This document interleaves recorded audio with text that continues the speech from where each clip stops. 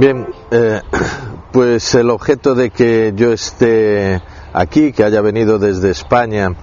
a, esta, a esta, localidad, invitado por la municipalidad eh, de Rafaela, es para contar cuáles son las experiencias que desarrollamos en, Galicia eh, para el aprovechamiento del suero de leche. Somos conscientes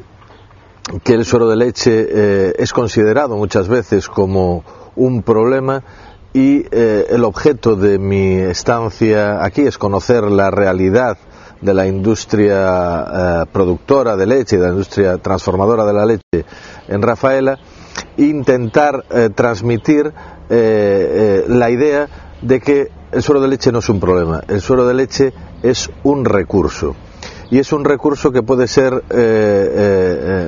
puesto en valor mediante su transformación en una gran variedad de productos de alto valor añadido. Elegir cuál de los productos eh, eh, es el más adecuado, eh, qué proceso es el que hay que aplicar y cómo implementar ese proceso en la industria, tiene que ser una tarea personalizada para cada caso. Hay que buscar de todas las soluciones posibles que existen en la tecnología, cuál es la que se adapta mejor a las circunstancias particulares de cada productor, de cada industria transformadora. En consecuencia, la idea es,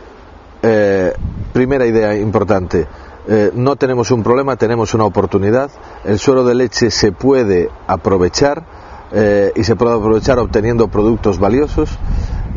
segunda idea, existe tecnología disponible en la bibliografía científica que nos permite obtener estos productos valorizadores.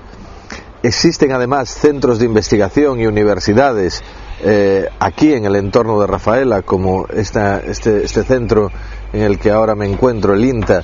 que son capaces de adaptar esas tecnologías para cada caso particular y además eh, de todo eso eh, existe la voluntad de considerar que los productores tienen un verdadero recurso valioso eh, que puede ser susceptible de redondear eh, los beneficios eh, que se pueden obtener a partir de la leche. El, el principal motivo que yo esté aquí es, en este contexto, es contar cuál fue nuestra experiencia, algunos casos de éxito que funcionaron bien y cómo pueden ser trasladados a la realidad rafaelina.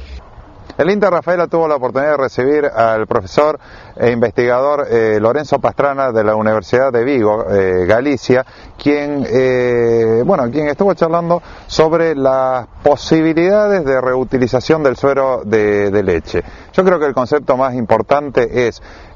cambiar el concepto de residuo a un insumo de alto valor o donde podemos estar aprovechándolo, haciendo, obteniendo productos de alto valor, haciendo un buen negocio y sobre todo evitando la contaminación del medio ambiente.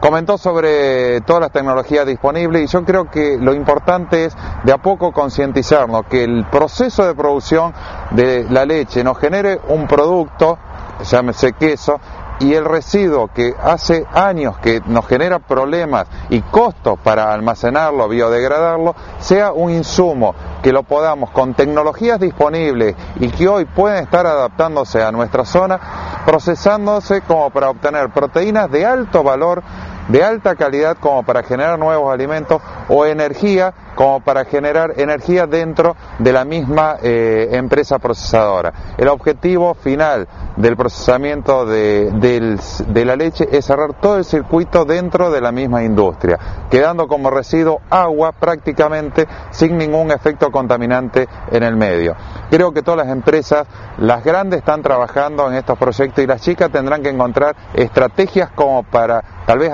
agruparse para procesar el suero y lograr obtener ganancias a partir de un residuo que nos genera graves problemas en las distintas empresas que tenemos en la zona.